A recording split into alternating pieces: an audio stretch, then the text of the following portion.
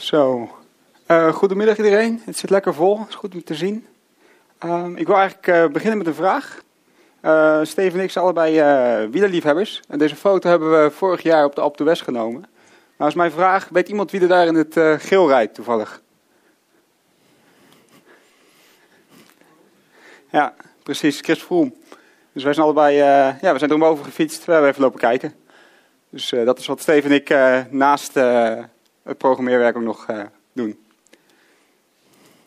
Um, even met mezelf beginnen. Ik ben Frank Volsen en uh, fullstack.net ontwikkelaar bij uh, Arnhem. Dat betekent dat ik van alles in de .NET hoek doe. Dus ook frontend ontwikkeling tot services bouwen. En dat doe ik samen met Steve. Ja, ik ben uh, Steve Burghout.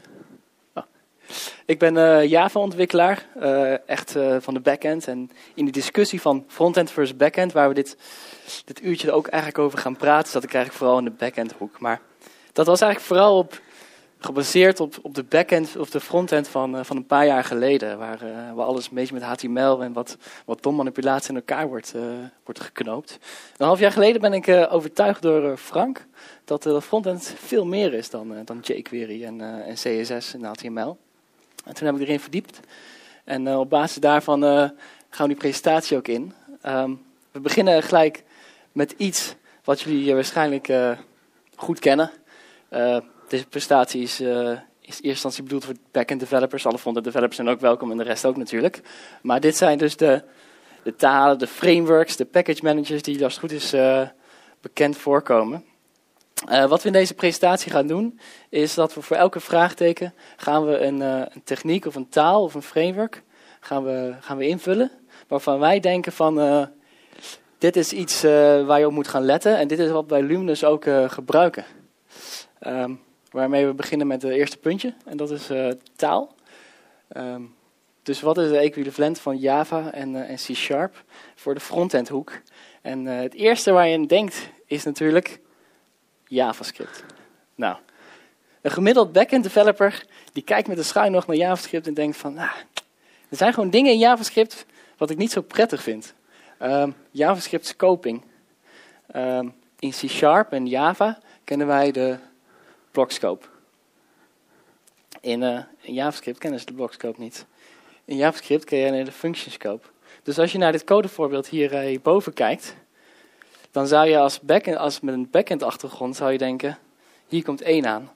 Want A, binnen de, de if-conditie, wordt binnen de, de blok gedefinieerd. En en zou dus buiten de scope vallen. Maar goed, dit is JavaScript, dus hij geeft 4. Uh, stukje modulariteit. Uh, dit is denk ik niet te lezen, dat is ook de bedoeling. Uh, als je iets van objectgeoriënteerde dingen wil gaan doen in JavaScript, een stukje overerving, dan kom je op dit soort code uit. Dus, dus wat zie je hier? Je ziet hier een klas animal. En uh, er is een klas horse volgens mij. En die erft over van animal. Maar het is natuurlijk totaal niet leesbaar. En op het moment dat je met grotere applicaties bezig bent uh, en met dit soort code moet gaan werken, dan is dat gewoon niet te onderhouden. Uh, is een grapje tussendoor. Wat zou hier uitkomen? Enig idee? True, vals? nou, scherp. Um, dit werkt gewoon in JavaScript. Dus we, roepen dat max en min helemaal verkeerd aan, want je moet uh, parameters aan meegeven. Uh, maar iemand die dit niet weet, en die gewoon runtime gaat uitvoeren en denkt, oh, komt vals terug, nou, het zal maar wel, geeft geen error. Dus dit soort dingen werken gewoon in, uh, JavaScript. Um, dus er is helemaal niet iets van een compiler. Het is allemaal runtime. Uh, je hebt dynamic typing. Um, ja, dat is natuurlijk uh, subjectief. Heel veel front-end ontwikkelaars vinden het fijn dat je gewoon alles toe kan wijzen aan de variabelen. Dat je kan overschrijven, dat eerst een string toe kan wijzen, dan weer een int. En uh, er van alle functies op uitvoeren. In principe gaat dat goed, tot een zeker moment. Um, en dat zeker moment kan komen in productie, als je al in productie zit. Want je bepaalde edge, edge cases gewoon nog niet getest. Um, het laatste stukje, false, 0, undefined, 0, not a number nou, wie, heeft nog, wie is het nog niet tegengekomen tijdens het uh, ontwikkelen in, uh, in JavaScript? Um, maar ja, als je frontend gaat ontwikkelen, heb je JavaScript nodig. Um, in eerste instantie omdat de browsers het gewoon allemaal supporten. Volgens mij support Internet Explorer nog uh, VB-script. Maakt niet uit. We hebben JavaScript nodig. En daarnaast, alle libraries, alle frameworks, die zijn in JavaScript geschreven. Dus hoe gaan we dit probleem oplossen? Er zijn alternatieven. Er zijn rond 150 alternatieven. CoffeeScript heeft op zijn uh, GitHub-pagina heeft, uh, 150 alternatieven onder elkaar gezet. Um, de belangrijkste daarvan zijn CoffeeScript. Uh, dat voegt static typing toe, dus eigenlijk is dat al een flinke verbetering ten opzichte van, van JavaScript zelf. Uh, het is een soort van Ruby-syntax, wat mij niet echt uh, bevalt. En het heeft nog niet genoeg inzicht om echt als een goede taal te werken voor het web. Je hebt Dart. Het grote nadeel daarvan is dat je een runtime library nodig hebt, dus je kan het niet aan zich draaien in, in de browser, zoals een runtime library. En je hebt TypeScript. En het TypeScript, daar wil ik verder op inzoomen. TypeScript is wat we noemen een superset van JavaScript. Wat betekent dat valide TypeScript valide JavaScript is. Um, het is optionally typed, dus je kan static typing toepassen. Um, maar hij heeft ook iets als type inference. Dus dat hij op basis van wat voor waarde eraan toegekend is, dat hij, uh, dat hij gaat kijken wat er dan op uitgevoerd mag worden. Um, het is volledig objectgeoriënteerd. En eigenlijk precies de manier waarop het in uh, Java en C-Sharp ook gebeurt. Dus we kennen de syntax. We, kennen de manier van programmeren. Dus voor een backend ontwikkelaar is juist om de, een van deze redenen ook een perfecte taal om, om in te programmeren voor de web. Uh, het heeft een modulesysteem en vooral bij grotere applicaties in, uh, in de frontend uh, wil je een stukje information hiding hebben. Als je heel veel klassen hebt en heel veel modules, uh, wil je een soort van modulair systeem hebben. En dat zit in TypeScript dus ook ingebouwd. Um, voornamelijk omdat het uh, dus static typed is, heb je dus goede IDE-support. En is dat een soort van productivity booster ook voor programmeren op de web. En laatste, niet onbelangrijk, is het based op ECMAScript. Dus, dus wat doet TypeScript? Gaat kijken wat in de volgende versie van ECMAScript komt. Dus nu is het gebaseerd op ECMAScript 6, wat, wat volgens mij nu ook wel uitgekomen is. En voegt eigenlijk al de functionaliteit toe aan TypeScript, wat straks in ECMAScript komt. Dus nu kijken ze al naar ECMAScript 7 en voegen ze de functionaliteit en een stukje syntax toe aan TypeScript die straks in ECMAScript 7 komt. Nou, wat ik net vertelde, het is dus een superset van, uh, van JavaScript. Dus wat betekent dat? Dus je hebt een valide JavaScript-file. Die zet je om, hier, wat je in het voorbeeld ziet, naar een TypeScript-file. En vervolgens kan je dat compilen. En als het goed is, dezelfde JavaScript-file weer uit. Dat gebeurt ook. Um, als dit, de AwesomeScript.js hier invalide is, um, zal die compile errors geven. Omdat je bijvoorbeeld een uh, functie uitvoert uh, die alleen maar voor een string bedoeld is, maar je hecht de waarde 1, 2, 3 aan zal die, zal die daar een compile time op error op geven. Um, hier een voorbeeldje van wat ik net heb uitgelegd. Dus hier zie je een stukje JavaScript. Nou, het is logisch wat hier uitkomt. Je ziet pas runtime, dat to uppercase, nou, dan kan die uitgevoerd worden op, op 1, 2, 3. Dat gaat niks uitkomen. Maar ja, dat zie je pas op runtime. Um, een equivalent in TypeScript. In TypeScript zeg je dus count, bijvoorbeeld string. Want uh, to uppercase kan je eigenlijk op string uitvoeren. Maar hier zegt de compile time mm, 1, 2, 3, dat kan je niet uh, verwijzen of uh, naar, naar een string toewijzen. Dus geeft de compile time een error. maar ik heb net ook verteld dat het optionally typed is. Dus je kan ook gewoon var ervoor zetten. En dan, gebruikt hij dus met type inference. Ehm, gaat hij kijken of to uppercase op 1, 2, 3 uit te voeren is. En dan zegt die compile time, eh, compile time eigenlijk al van, hm, kan helemaal niet. Dus zie je eigenlijk al veel eerder in het proces dat er iets fout is in je code. En geeft de compile time dus al een error. Dus op deze manier is het ook een flinke productivity booster voor, uh, voor je applicatie. Nou, om uh, te laten zien hoe die syntax nou in het grotere plaatje uitziet, um, ga ik een kleine demo geven. Uh, die demo ga ik geven op de TypeScript Playground. Dat is een goede tip als jullie ermee willen spelen, um, er is een. eh, eh, kijken. Er is een site eh, gelanceerd door Microsoft. waarin je kan experimenteren met, met TypeScript. Aan de linkerkant van je scherm. Ik hoop dat het voor iedereen goed leesbaar is. Ik zie je knikken. Links zie je TypeScript. En rechts zie je JavaScript. Wat opvalt is dat eigenlijk links en rechts hetzelfde is. En dat heeft weer te maken met valide JavaScript, dus valide TypeScript. Eh, dit is gewoon valide TypeScript dus. Eh, maar wat we willen doen, is we dit, willen dit om gaan zetten naar een object-georiënteerde manier van, eh, van programmeren. Dus we willen helemaal geen function greeter en daar een prototype op zetten. We willen een class greeter en die moet een methode greet hebben. Dus wat doen we?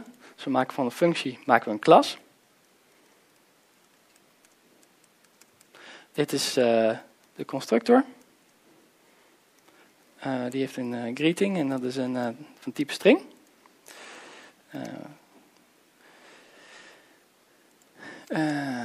Nou, dit is eigenlijk syntax zoals jullie gewend zijn. We moeten nog wel even een member variabele maken. Dus public greeting, zeggen dit is string. Ehm, we hebben nog hier een methode, greet. Dus die gaan we ook nog toevoegen. Eh greet returnt een eh, string. En ik zal dit stukje even kopiëren.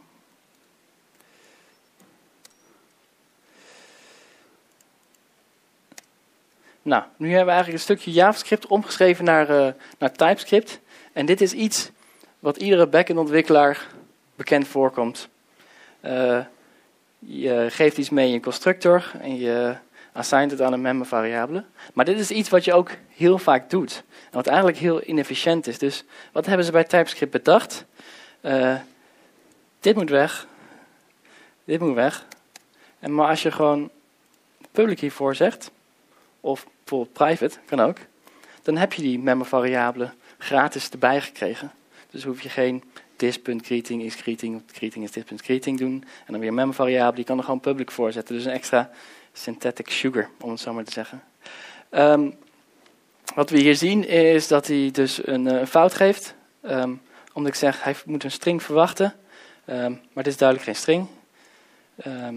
Dus dit moeten we even om gaan zetten in een string.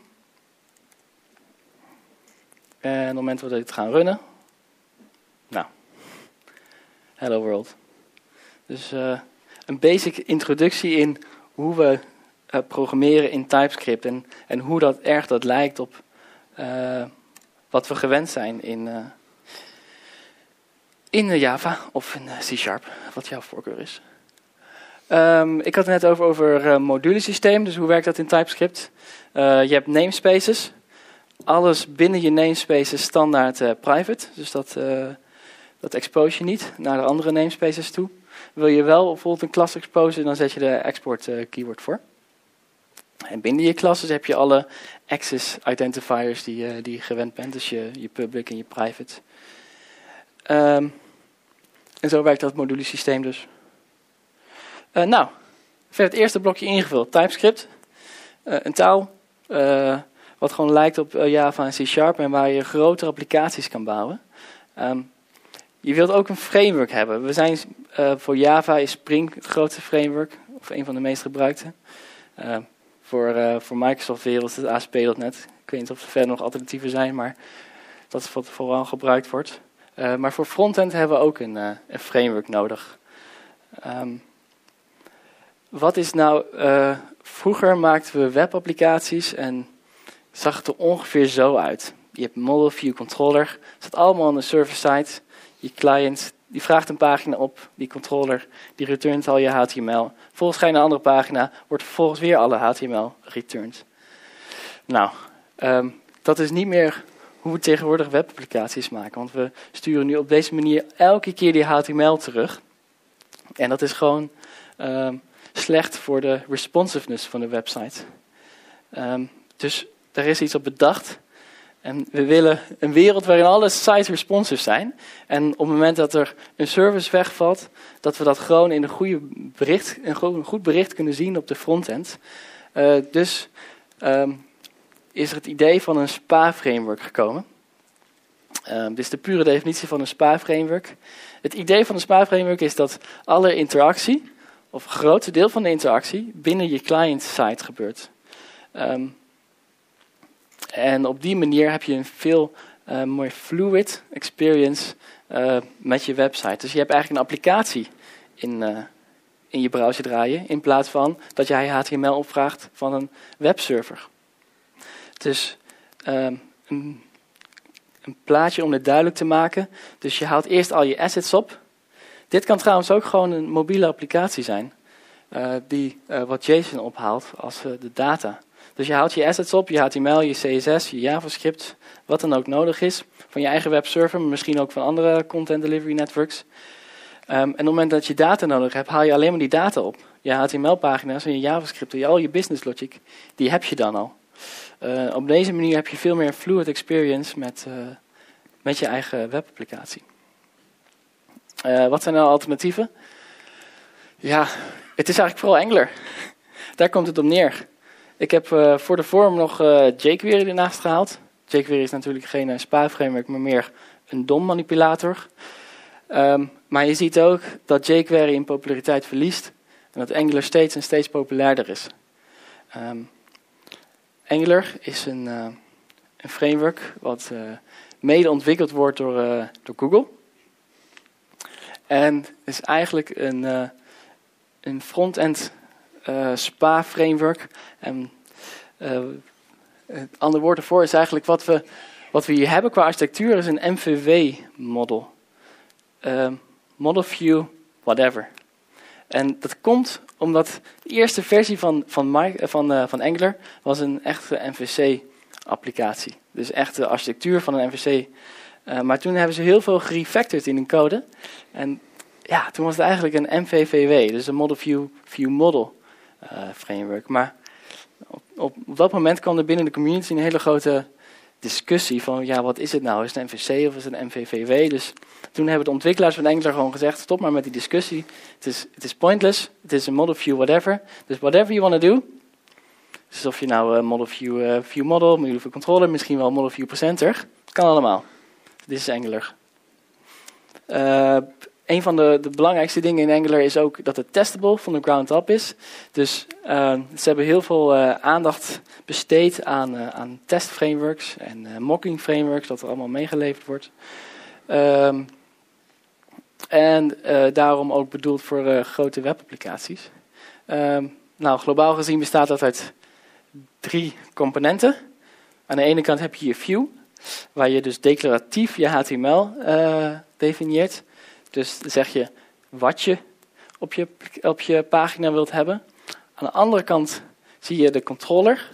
En daar heb je dus imperatief wat je wilt doen. Maar en definieer je dus hoe je het wilt doen. Dus daar heb je je business logica. Daar heb je dus je JavaScript of nou misschien wel TypeScript als je in TypeScript uh, programmeert. En daartussen heb je de scope. En de scope is eigenlijk de lijm die alles aan elkaar uh, bindt. Dus op het moment dat je van je view uh, iets naar je controller wil hebben, gaat dat via je scope en vice versa ook.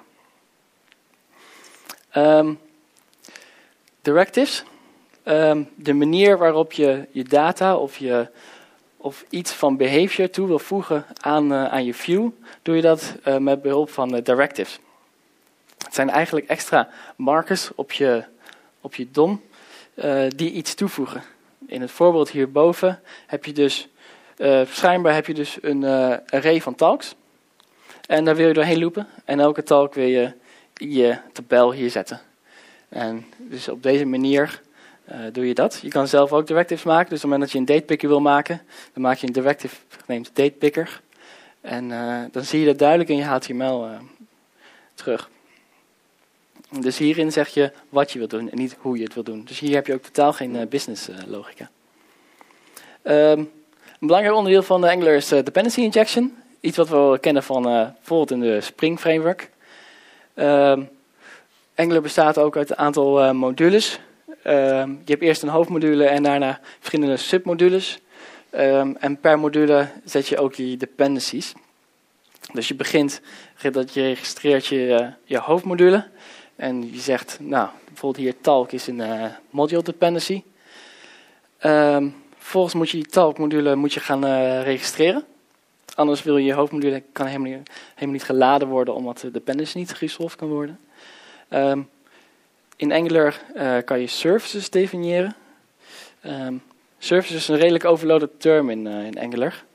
Um, een service is een service, maar kan ook een controle zijn of een factory. Daar ga ik je verder niet mee bemoeien. Maar een service iets, bijvoorbeeld kan, kan data ophalen uit, uit de backend. En uh, zoiets. Dus zoals backend services eigenlijk. Dus die kan je registreren en die kan je, op het moment dat je die wilt gaan gebruiken, kan je die injecteren in bijvoorbeeld in je controller. Uh, Two-way data binding. het is ook een uniek ding van, van Angular. Um, nou, uniek is het niet, maar de manier waarop ze het doen wel. Um, je hebt dus je template, dus je HTML met je directives. En uh, waarop je zegt wat je wilt gaan doen. En het wordt gecompileerd naar een view zoals je het ziet in de browser met alle daadwerkelijke data erin. Um, op het moment dat je daarin iets aanpast, um, dan wordt dat uh, doorgezet naar je model. Dus je bindt je view eigenlijk met je model en je model weer met je view. Um, dus op het moment dat je je view iets verandert, wordt je model ook veranderd en vice versa.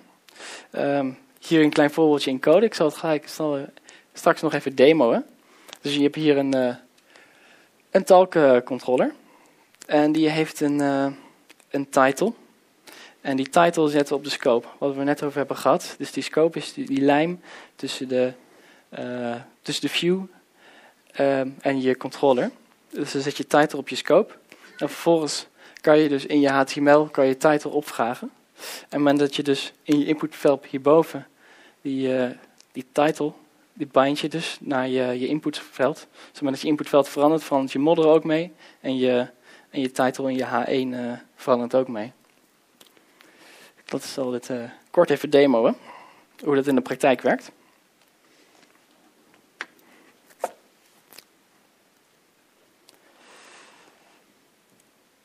Um, wat we hier hebben gedaan is eigenlijk het codevoorbeeldje van net, zoals in de slides. Uh, we hebben hier een inputveld en die is gebind aan precies dezelfde title die hier staat. Het is gewoon iets wat we hebben opgehaald uit een, uh, uit een uh, REST service.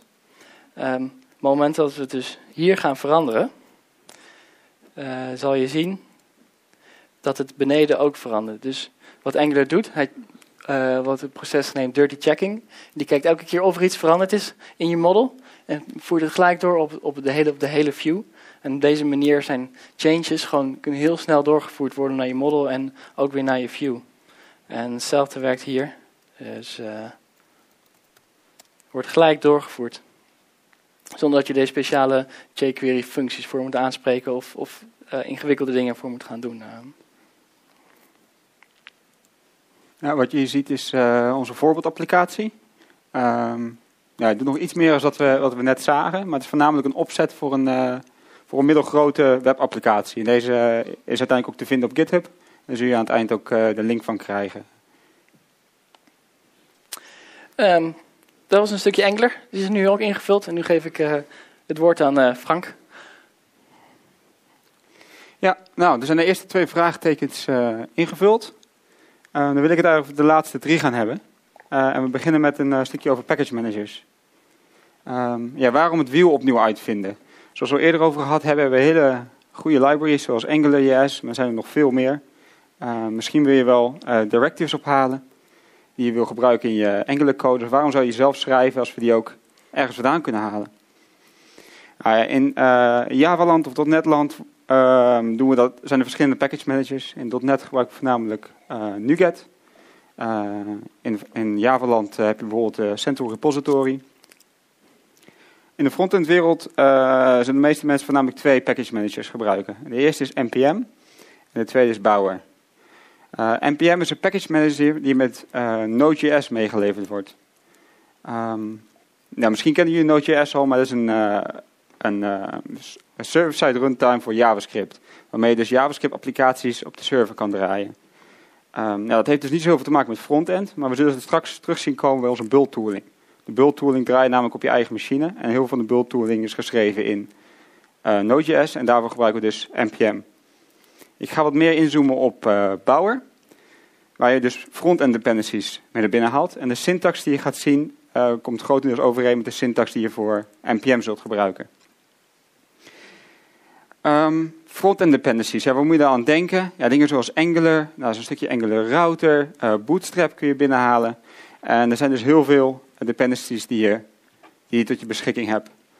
Um, er zijn er binnen Bower uh, vier voornamelijk, voorname functies die je zult gebruiken. Dat is om het begin van het project is een init-functie. Daarmee zet je een Bower.json bestand op voor je eigen project. Um, hier kun je verschillende uh, uh, metadata in kwijt over je project, zoals de naam, versie, maar ook de author en nog wat andere attributen. Maar het voornaamste zijn de dependencies. Dependencies zijn dependencies waarop jij dependent bent in je applicatie. Um, je ziet er ook een versienummer bij staan.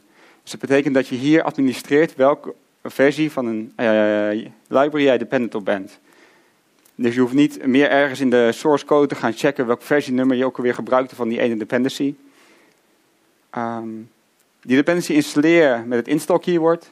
En dan kan je optioneel ook saven in dit power.json.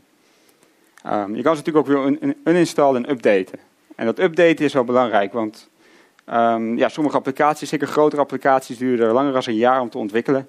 En het kan heel goed zijn dat eind van het jaar weer een hele nieuwe versie van je framework beschikbaar is.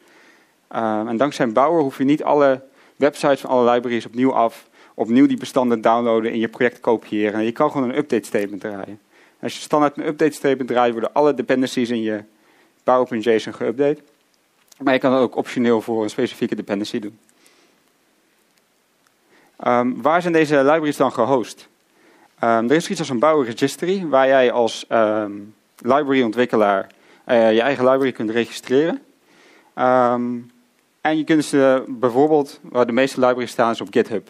Dus via Bower kun je een GitHub library uh, downloaden. Maar je kan ook elke willekeurige GitHub library aan Bower toevoegen. Zelfs elke uh, Git repository. Maar ook Subversion, zelfs een local file path. En als je ergens een obscure library vindt en je wil per se via Bower binnenhalen, kun je gewoon direct naar die specifieke, dat specifieke JavaScript bestand wijzen. En kan je dat dus proces beheren um, in, in je project. Um, er is nog zoiets als dev dependencies. Dev dependencies worden gebruikt voor libraries die je niet uh, wilt deployen op je productieserver. En daar gaat het voornamelijk om dingen die je niet, dat je uh, die, uh, die je niet in je website geladen wil hebben als iemand die website aan het gebruiken is. Bijvoorbeeld dingen die met testframeworks te maken hebben.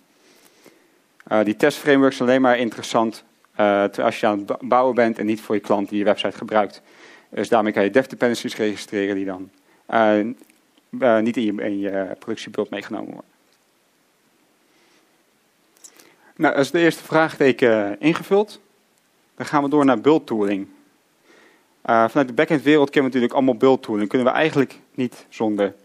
Uh, in de frontend wereld werden er een paar jaar geleden, of nu misschien nog steeds, heel veel websites gemaakt waar je gewoon een paar JavaScript bestanden in je HTML verwijst. Want JavaScript hoeft tot verrekening niet gecompiled te worden.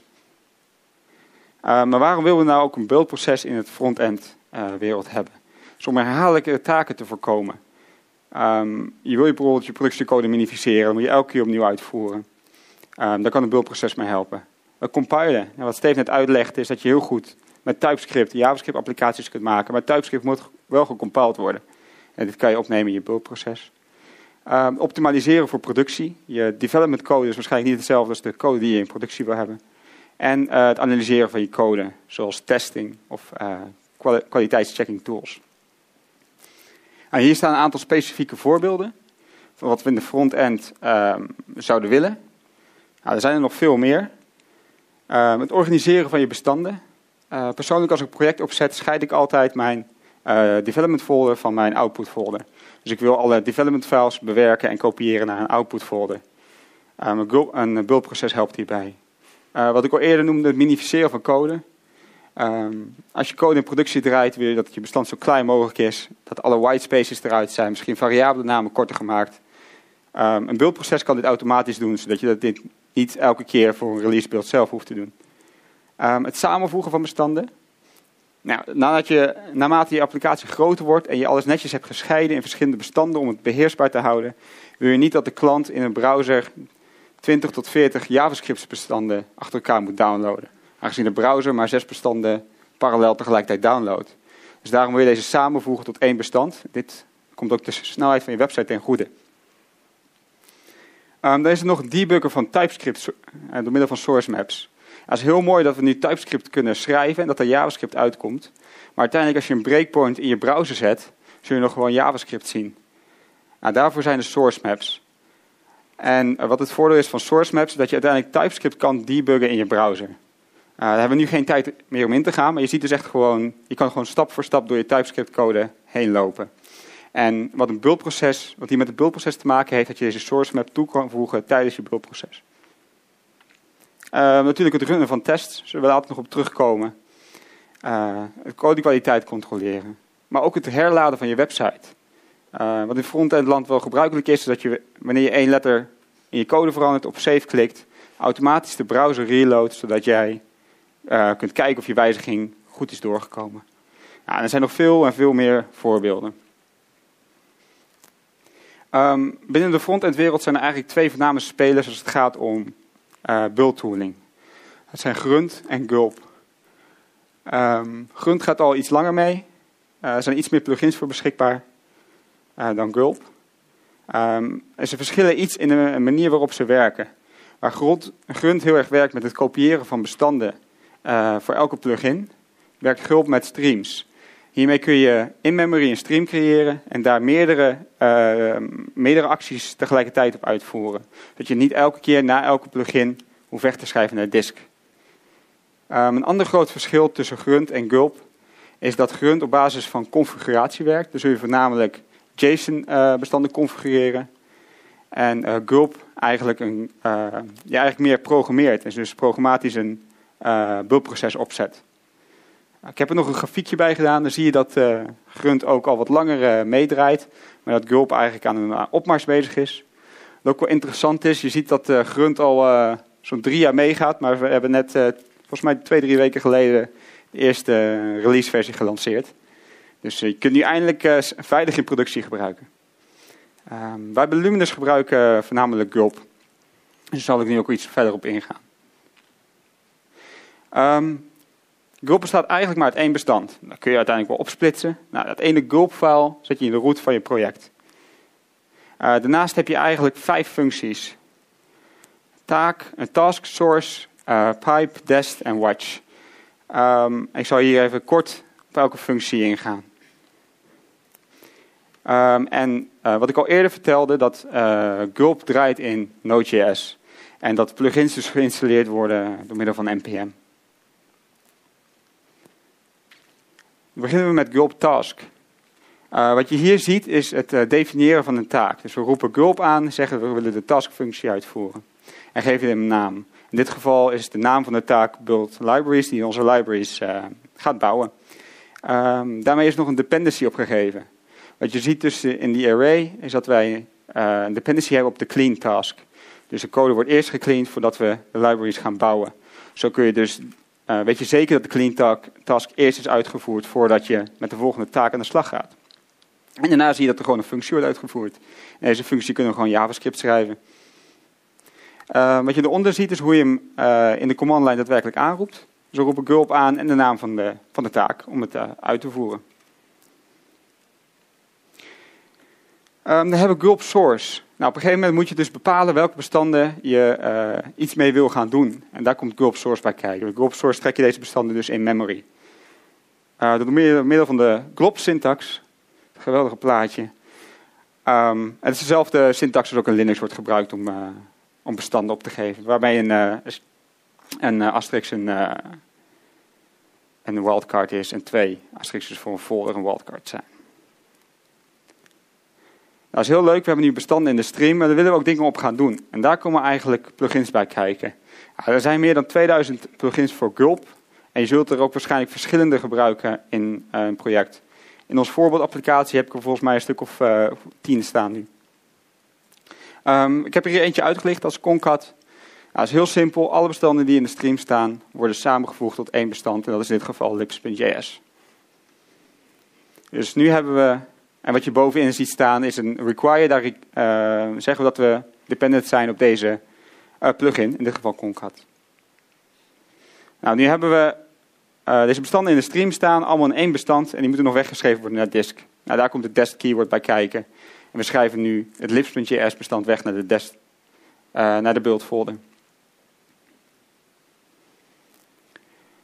Dan is er nog één, één functie die er nog overblijft. Dat is de watch. Ik heb hier een taak gedefinieerd die, die onze libraries in de gaten houdt.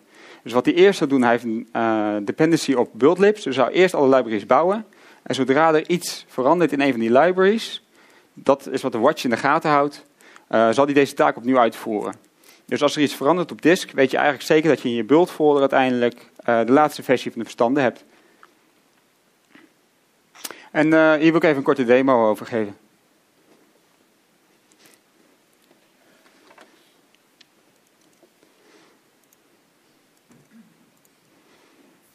Um, ik heb hier onze voorbeeldapplicatie. Uh, daar mist iets. We missen eigenlijk uh, alle talks. Als we even in de console gaan kijken, zien we dat uh, hier rechts onderin Angular not defined is. Dus blijkbaar hebben we geen beschikking tot Angular. Als we dan naar ons project kijken, dan zien we hier onze projectmap, onze applicatie, bouwcomponents en uh, waar we het eerder over hadden. Uh, nou, onze dependencies halen we binnen met uh, bouwcomponents. En we zien hier een aantal dependencies staan, maar Angular zelf mist. Dus wat we gaan doen is door middel van bouwer uh, Angular toevoegen. dat doe ik via de command line. En wat ik ga zeggen is ehm, bouwer, install, wat we eerder zagen, Angular. En ik voeg er het save keyword aan toe. Dat betekent dat het ook in het bouwer.json toegevoegd wordt. Dus als we ook even in de bouw.json gaan kijken. Dan zien we hier al die dependencies staan die we eerder in de bouwcomponents folder uh, stonden, maar zonder Angular. Als we nu zeggen, ga deze maar installeren. Dan hopen we dat het internet meewerkt. Nou, het lijkt goed te gaan. Heel even geduld.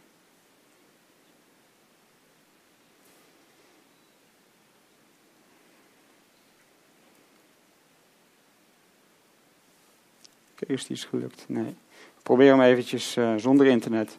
Dus wat ik eerder aangaf is dat je ook um, een lokaal path kunt gebruiken om je daar dus binnen te halen. Dus mocht je een ander project hebben dat ergens op disk staat, kun je deze op deze manier toevoegen.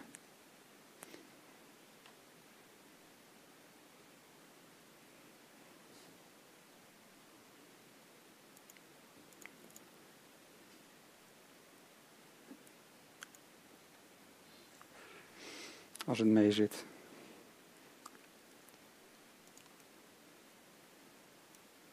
Ah, kijk. Dus we hebben nu Angular toegevoegd. Dan zie je ook dat hier uh, een path staat. Normaal zou daar een uh, versienummer staan. En als we nu gaan kijken naar onze bouwcomponent, zien we dat hier uh, Angular is gedownload. En dat hij hem bij heeft gezet. Ja, het werkt nog helaas niet. Ik kan Angular nog steeds niet vinden. En mijn webserver ligt er ook uit. Hm die even aantrappen. Um, waarom die nog niet kan vinden, dus als we even in onze index.html gaan kijken. Want Angular moet natuurlijk wel uh, daadwerkelijk geladen worden. Ah, in de index van, uh, HTML van onze applicatie, zien we heel duidelijk dat uh, de libraries zijn uitgecomment. Nou, als we die nu gaan terugzetten, dan zien we dat hij de libraries niet kan vinden. Die krijgen not found. Maar laten we dit ook gaan oplossen. Dus wat we eerder hebben aangegeven, dat Gulp uh, al onze libraries kan samenvoegen. En dat doet deze taak. Deze taak staat nog uitgekomen, dus die doet inderdaad niks. En we gaan deze even uh, invullen. We beginnen altijd met de return, zodat Gulp weet uh, dat deze taak ook klaar is. We beginnen met de Gulp source om aan te geven welke bestanden we allemaal willen hebben. Um, en in plaats van wat we in het voorbeeld deden, gaan we een, een andere plugin gebruiken. Die zien we hierboven gedefinieerd. Uh, wat deze plugin doet, die kan alle uh, JavaScript-bestanden van de libraries die we willen gebruiken ophalen. We gebruiken in dit geval altijd Bower. Dus we kunnen aan deze library vragen, vergeef maar, maar alle uh, JavaScript-bestanden van de extension, alle bestanden met de extension JS. En dan moeten we nog even files op aanroepen. Dus nu hebben we alle JavaScript van onze bouwcomponents in memory zitten. Vervolgens moeten we deze nog gaan uh, samenvoegen tot één bestand. Dat doen we met het pipe keyword en uh, vervolgens met de concat plugin. En we zeggen tegen concat plugin, we willen een bestand hebben dat lips.js heet. Want zo hebben we dat gedefinieerd in onze index.html pagina. Nou, dat hebben we nu in memory staan en willen dat nog naar de output folder schrijven. Dat in dit geval onze build folder.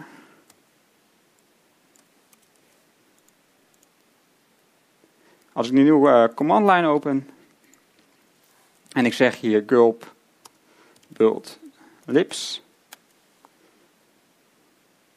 dan gaat die niet werken natuurlijk. Gulp en test. Ah ja, dit moet binnen een pipe staan. En er moet inderdaad ook gulp voor.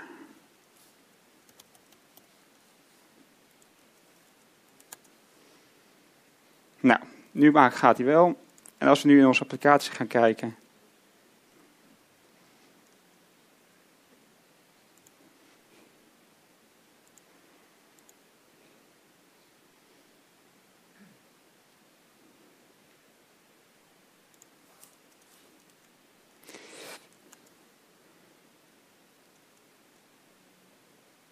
Nou, we zien hem nu ertussen staan. Ik moest een slash weghalen. Um, nou, we kunnen onze server niet bereiken. Dat is even jammer dat het internet niet meewerkt.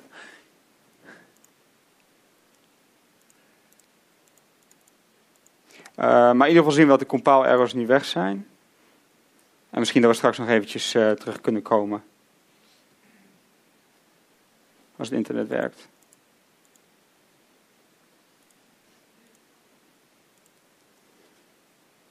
Nou, we zien dat de talks nu opgehaald worden. Dat kan er nog steeds niet bij. Network changed.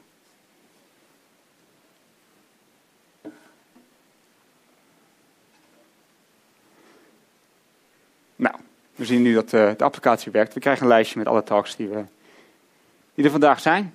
En die zijn nu uh, hier als het goed is.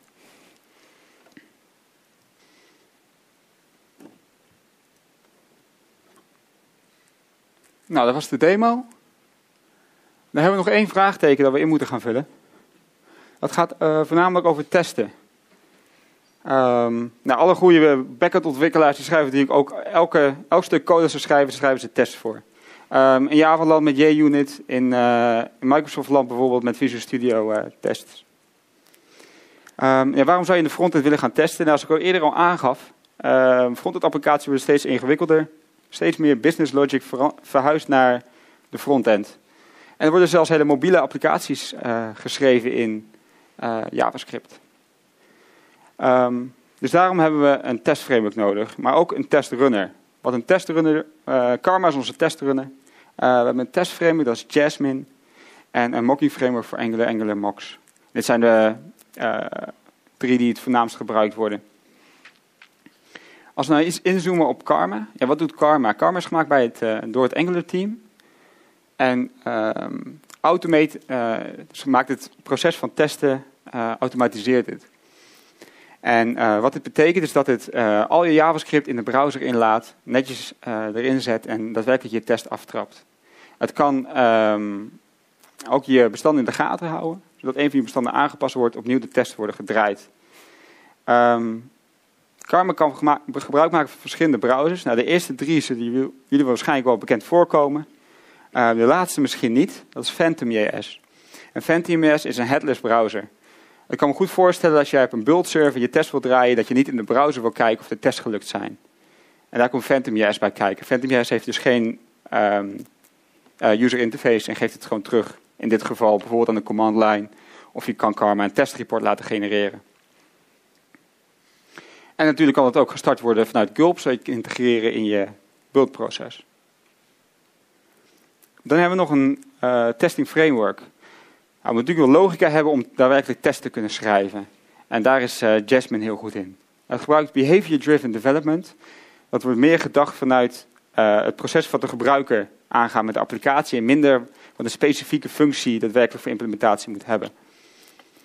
Um, daarbij hebben we de describe keyword. En dan kan je eigenlijk een stukje, een bepaalde stuk in je code definiëren. Je kunt verschillende describes ook nesten. Um, zodat je dat in je code kan organiseren. In dit geval uh, beschrijft deze test onze taalcontroller. Daarnaast hebben we de before each. Dat kennen we vanuit de backend wereld ook. Die wordt uitgevoerd voordat elke test wordt uitgevoerd. in dit geval instantiëren we een nieuwe controller voor, dat, voor elke test. de it specificeert daadwerkelijk de test. In dit geval, it should toggle the variable. Dus in deze test kijken of de variabele wel daadwerkelijk getoggeld wordt. Uh, in de, op de controller roepen we de toggle variabele aan en vervolgens kijken we of die uh, daadwerkelijk false is, want hij begon met uh, true. En dat doen we door middel van de expect. In expect definiëren we wat daadwerkelijk de verwachte uitkomst is. In dit geval expecten we inderdaad hem to be false. Uh, het laatste onderdeel van de test is een mocking framework. Nou, van de backend kennen verschillende mocking frameworks. Um, voor Angular kan je het beste Angular mocks gebruiken. En ik heb hier een, uh, met een, uh, het is een licht roze kleur gehighlight uh, welke, um, welke methodes er van Angular mocks afkomen. En de eerste is de module.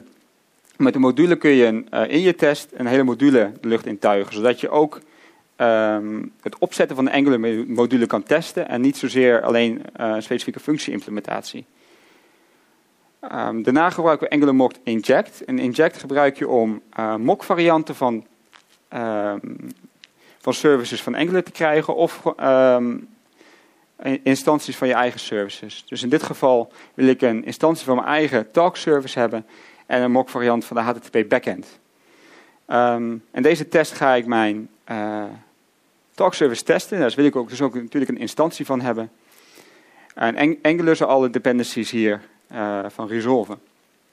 Uh, in dit geval gaan we op de HTTP backend de get-methode uh, mokken. Dus wanneer er een get-methode naar de HTTP backend gedaan wordt met de route talks, zal deze een 500 teruggeven. En kan ik dus testen of mijn applicatie daar correct op reageert. En dan hebben we nog één laatste methode, dat is dump. en dit, het enige wat dit doet, is het wat netter laten zien van je output. Dus wat je kan doen, in plaats van een console log en dan een hele bak met uh, code achter elkaar uitgeschreven krijgen, formateert, formateert dump netjes je array of je object, zodat het ook leesbaar is. Voornamelijk voor debug purposes. En dan hebben we nog een ander onderwerp, dat is taalchecking. Um, nadat je, naarmate je team groter wordt, wil je eigenlijk dat uh, zoveel mogelijk dat je team hetzelfde op dezelfde manier programmeert. Um, in frontend wereld hebben we JS-lint. En hier definieer je bijvoorbeeld weer single quote gebruiken, double quotes gebruiken, wel spaties naar je functienamen. Moet je alles uh, met een uh, punt komma afsluiten. Dus dit, soort regels. Um, nou, wij gebruiken geen JavaScript in ons project, we gebruiken TypeScript. Dus wij gebruiken iets als TS-lint, wat eigenlijk precies hetzelfde doet, maar dan voor TypeScript-projecten. Nou, hoe werkt dit nou? Ik kan een hele lijst van rules uh, definiëren. Nou, hier staat er eentje. Uh, is de rule quote mark. Dus we willen dat in onze applicatie altijd uh, dubbel quotes gebruikt worden.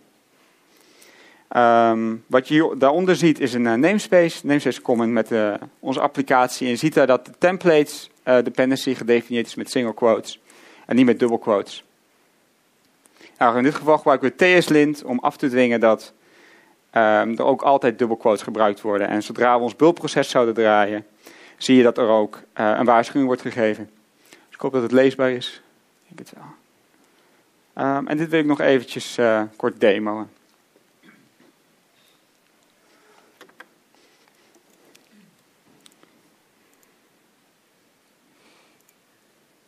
Dus ik heb hier een, uh, een ander project. Hetzelfde project, maar iets, uh, iets aangepast. En als we nu in de browser Gulp gaan draaien, dan gaat een hele hoop stappen aftrappen. En we zien hier inderdaad dezelfde fout optreden die we net in de, in de slide zagen. wat we hier zien inderdaad, als we het regelnummer er ook bij pakken, regelnummer 5. Dat hier uh, een single quote staat wat uh, dubbel quote zou moeten zijn. Als we hem nu opslaan, dan zien we dat Gulp in de achtergrond automatisch weer uh, met TS Lint aan het draaien is. En dat ik hier nu in dit geval geen fouten meer uit krijg.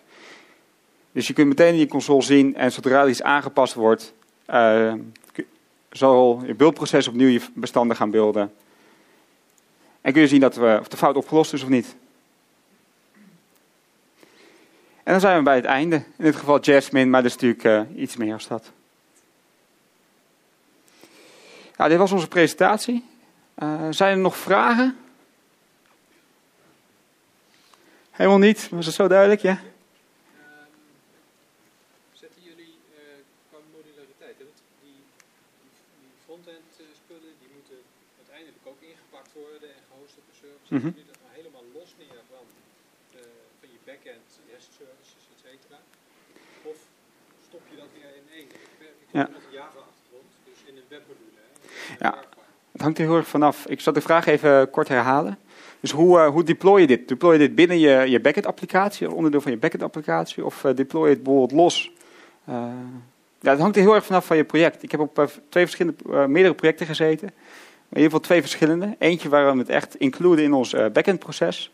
Bijvoorbeeld omdat we een stukje authenticatie nog steeds via een ouderwetse authenticatie cookie mechanisme doen, wat in de backend werkte. Um, een andere applicatie hebben ze opgezet dat we gebruik maken van tokens en dat totaal los staat van onze backend applicatie. Uh, en als je op die manier opzet, kun je het natuurlijk ook totaal ergens anders hosten. En wat het voordeel daarvan is, is dat ik um, vrijdagmiddag, ik kon het niet laten om eventjes dat ding snel door PhoneGap te gooien. En ik kon deze applicatie, wat bedoeld was als mobiele webapplicatie, ook meteen als PhoneGap applicatie draaien. Omdat het een totale losse koppeling had. En uh, ja, helemaal los stond van de, van de backend applicatie. Ja?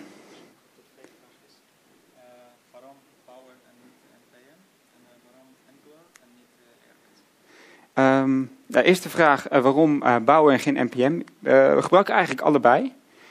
Um, omdat bouwen eigenlijk gemaakt is voor front-end dependencies. Dus we gebruiken uh, bouwen om onze Angular en echt front-end dependencies binnen te halen. En NPM, omdat het gekoppeld is aan Node.js, server-side dependency of Node.js dependencies. Ze gebruiken ze allebei, maar er is alle, allebei een ander doel. En um, je wilt vraag over React. Oh. En React. React versus, um, ik ken React zelf uh, niet heel goed, maar wat ik van heb gehoord is volgens mij dat Angular een wat um, bredere oplossing is, die uh, meer doet als alleen React. Maar volgens mij heeft Steve heel eventjes even gekeken naar React zelf. Ja, Angular heeft gewoon veel meer componenten in zich. Het heeft echt een applicatieframework voor de frontend. Terwijl React wat minder in zich heeft. Ik weet niet precies wat die React in zich heeft, maar ja. Ik hoop dat dat je, je ja. vraag beantwoordt. Nog meer vragen?